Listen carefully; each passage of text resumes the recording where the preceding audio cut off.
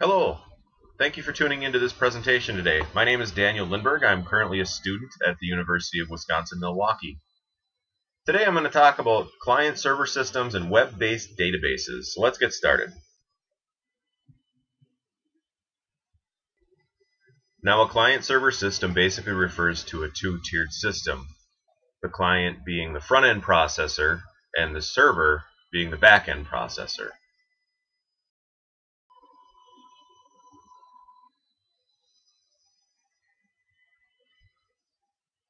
An advantage to a client-server system is that it has improved security. I'm going to talk about a couple of the disadvantages now. A major disadvantage to a client-server system could be the potential bottlenecking of traffic on a congested network. What this means is that if there are many different clients on the network and they're all making requests to the server at the same time, this could cause the network server to slow down to the point of crashing.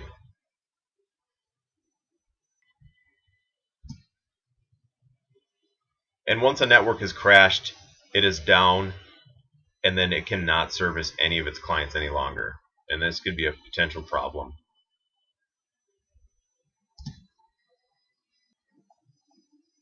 I also want to talk about the possible distributed denial of service attack. Now this is the same scenario as the bottlenecking.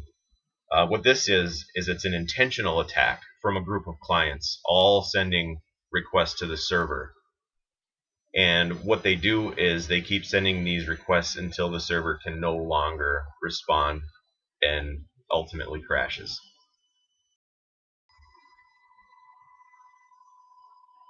Another disadvantage in a client-server system could be something called a single point of failure. And ultimately, one single failure could lead to many failures. What I mean by this is you have many clients that are accessing the same server. For example, instead of each client using their own database, they're all relying on a single database for their information. Now, if that single database were to crash, a single point of failure would cause all failures. An example could be a large corporation using one database for their customers' information. Same with a bank or even an email server.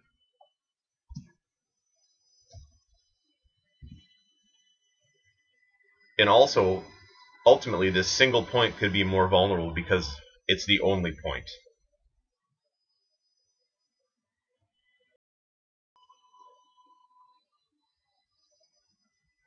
Okay, let's talk about backing up data.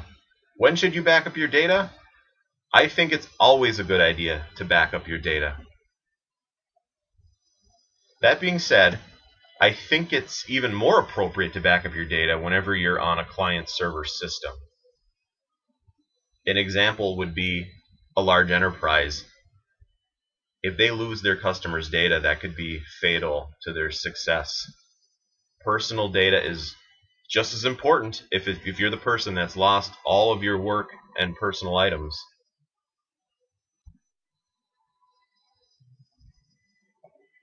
All right, let's talk a little bit about scalability.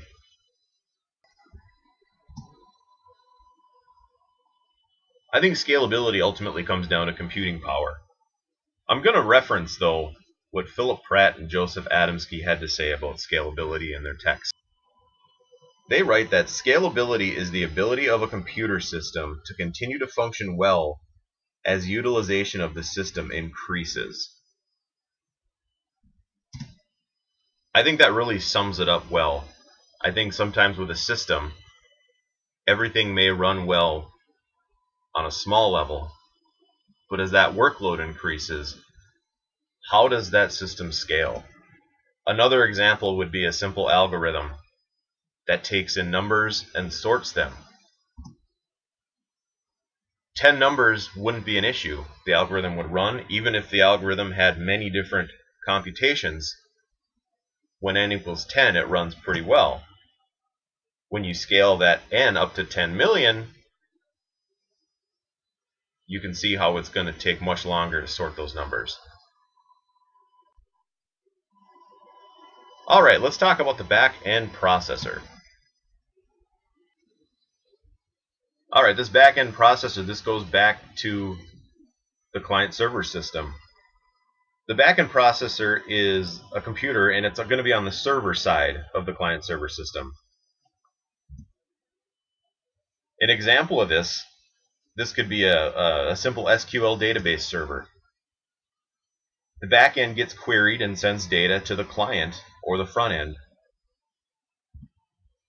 Another example of this could be an application server located on the back end server side. The client can modify and add functions to the server, allowing these functions to be run in conjunction with the database. Any results then are delivered to the front end. The front end processor. Also part of the client server system. Instead of the server side though, the front end processor works as a part of the client side. An example of this could be any kind of a web browser interpreting HTML code or JavaScript code. It could be really any kind of an inter interface that communicates with the backend. Could be a database or a web server. The front end processor sends and receives requests to the back end.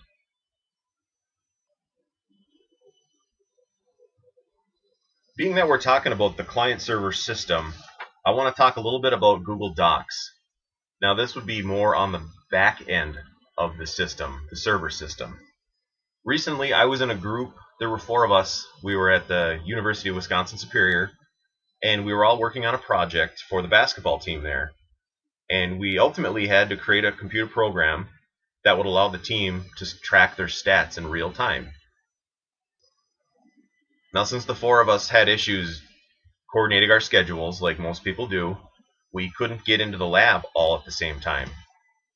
So what we were able to do is all sign into Google Docs, and it was a great means of communicating with each other our progress. This was a form of a back-end processor. The four of us were the front end, the clients, and what we would do is we would all log in and we would communicate our progress with each other, and we would all edit the same document this was a great way to collaborate.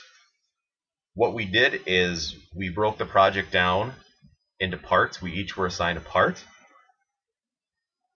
And then what we would do is we created one doc document through Google Docs and we all would update our progress on one document. We didn't write actual computer code, we wrote pseudocode, meaning it was similar, it didn't have all of the exact syntax of the actual script. But when you write the pseudocode, it allows you to kind of outline the project as a whole before you actually get started coding. And I remember even there were a few different functions we had to write, and it was a really nice way to write the function, upload it to the Google Doc, and then we could all log in, copy the function, and then actually run it in our individual programs. And it, it worked really well. I remember we could all edit the same documents in real time, comment back and forth, and we could share our ideas without shuffling of multiple files.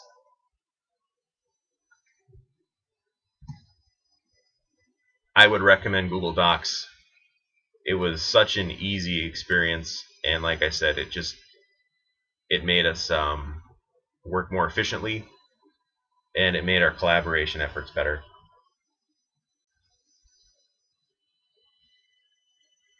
Now, when talking about the client-server system, there are also different programming languages. Now, some are exclusive to the client side or the server side. For the client side, I'm going to talk a little bit about JavaScript. JavaScript is a client-side scripting language, meaning the code only runs on the client's machine.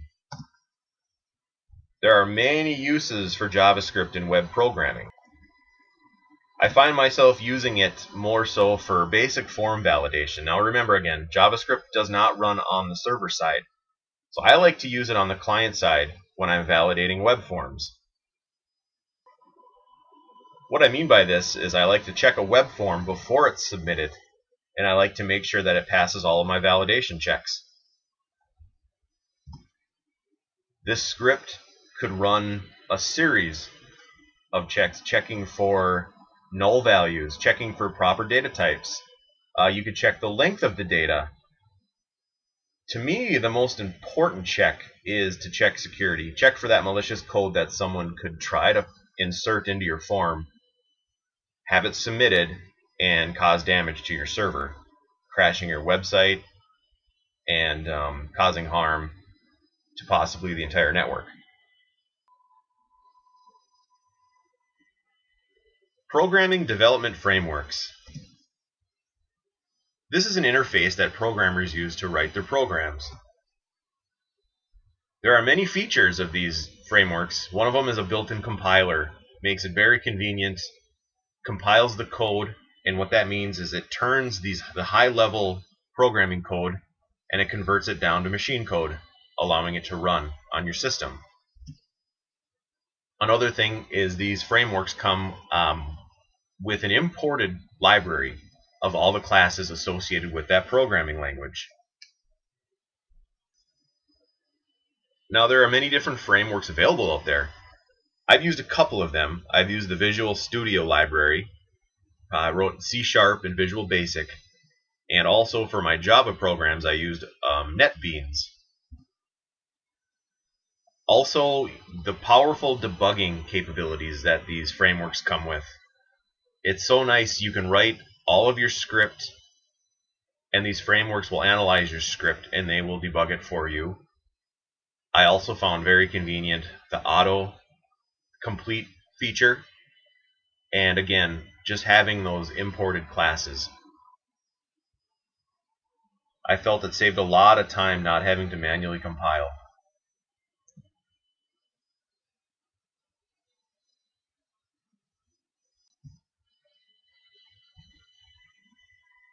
I'm going to talk a little bit about web-based databases.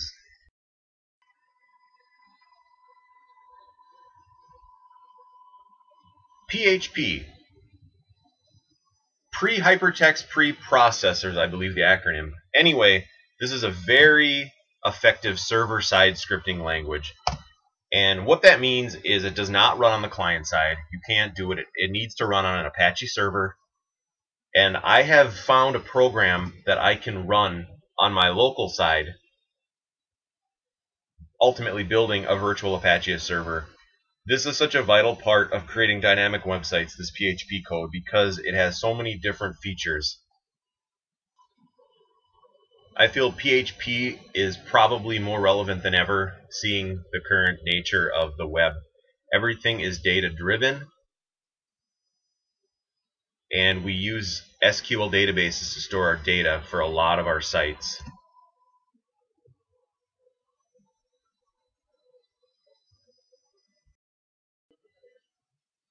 There are many popular websites written in PHP.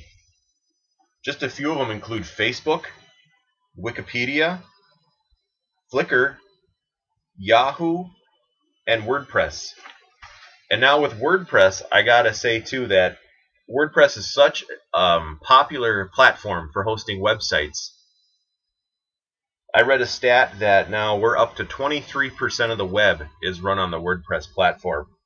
And if WordPress is written in PHP, you can just see how important this scripting language is.